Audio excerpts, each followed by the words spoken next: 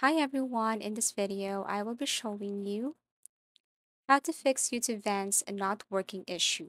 So there are a few reasons why you encounter this problem. It could be updates and compatibility issues, changes in YouTube's API, device-specific problems, installation and configuration errors, server-related issues, and so on.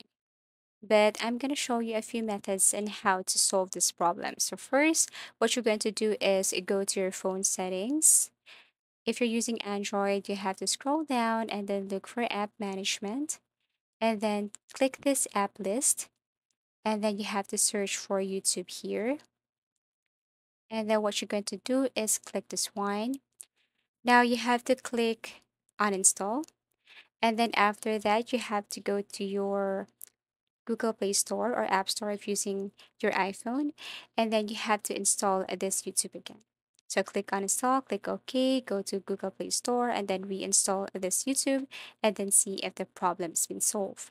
If not, then the next thing to do here is you have to click the storage usage. You have to open your YouTube again, and then clear cache and clear data. Tap this clear cache and clear data. And then after that, you can now go back. But before that, you can also go to Google Play Store and then type YouTube and make sure that you are using the latest version of this application. So if you see this update button right here, you have to click this one because this could be the reason why you encounter such problem. So after doing this, go back to YouTube and see if the problem has been solved. So if you have found this video helpful or if you want to suggest something, please do comment down below and please do like and subscribe to our channel. See you again in our next video tutorials.